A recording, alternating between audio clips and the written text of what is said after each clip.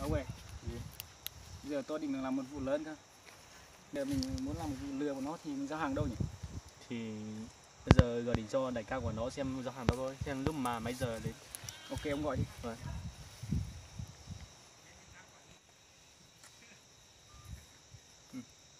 nói đi nói trả lời.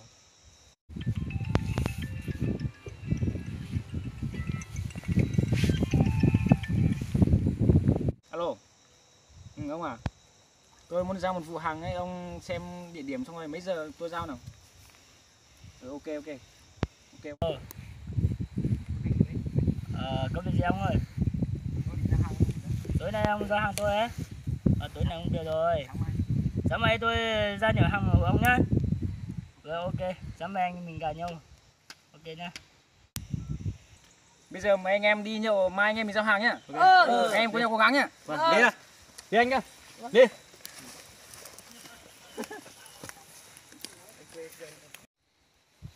Thôi may nhận hàng Bây giờ anh em mình đi uống nữa nhỉ? Đi đi, sợ gì? Đây, anh em mình đi uống nữa may đi nhận hàng nhá. Vâng. Ok.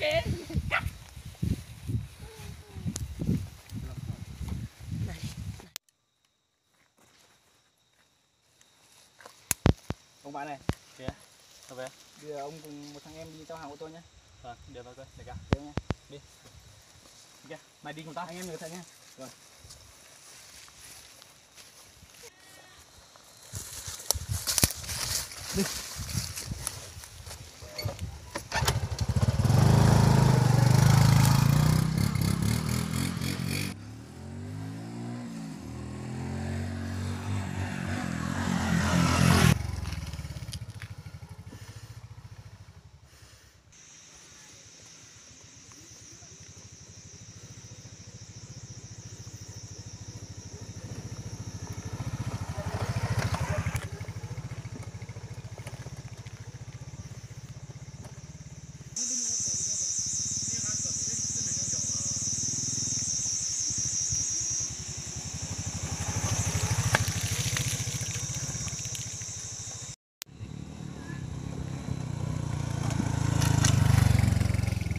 đây mà bọn nó giao hàng xong rồi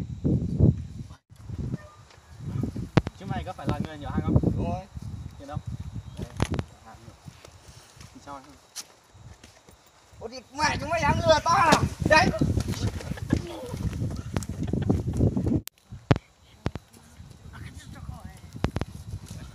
Nó đi lâu ấy. không biết được chắc có chuyện gì à? Vâng, để mình nói. hai thằng mày làm sao? Sao? sao ấy? Bị của nó đấm bị của nó đánh thôi được rồi anh em cũng nghỉ sáng mai mình đi tìm một nó Vâng. mình nghỉ đấy mình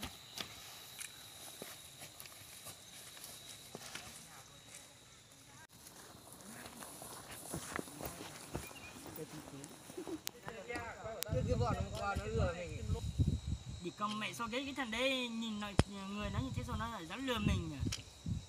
mất rệ Mấy thằng này chắc là nó không muốn sống rồi. dám giao hàng giả cho anh em mình này chắc là bây giờ mình cần gặp lại nó, chỉ chỉ có là thế này thôi. Đó.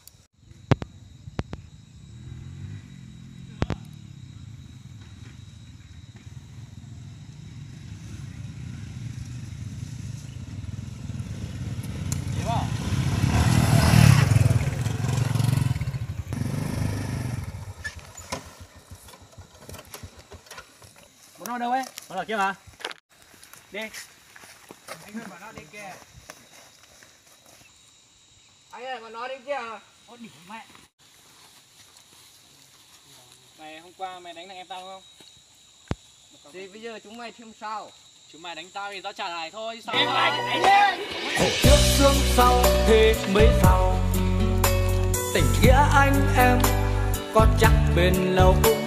Dòng trước khô sau thế mới đau lòng khi xa cơ không còn ai khi mình đã có những gì người ta cần, người ta luôn quan tâm.